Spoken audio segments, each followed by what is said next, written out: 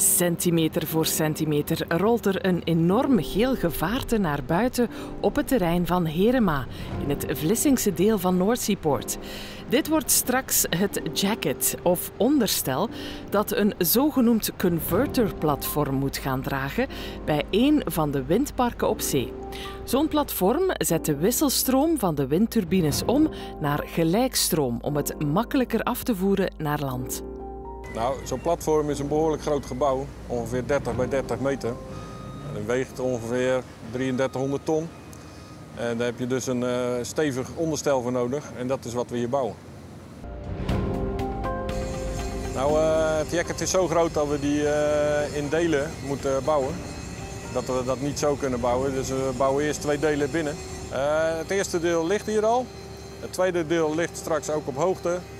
Dan klappen we eigenlijk allebei op naar elkaar toe en wordt het dan uh, samengesteld. Uh, als hij op zee komt, wordt hij met een grote kraan wordt hij in het water gezet. Nou, en dan steekt hij misschien nog 3, 4 meter boven water uit. De komende jaren worden grote stappen gezet om onze energievoorziening te verduurzamen.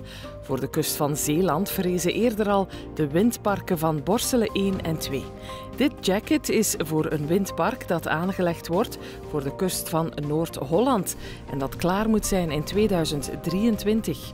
Deze pijpen komen met deze roestkleur binnen. Dan worden ze gestraald en geel gespoten. Dan stellen we ze samen met fitplaten en daarna komt de lasser om ze af te lassen. En dat moet goed gebeuren, want zo'n jacket blijft decennia staan in zee. Als het project eh, netjes is afgerond, zonder ongelukken en veilig is afgewerkt en we zien het wegvaren op het ponton, dan zijn wij heel erg blij.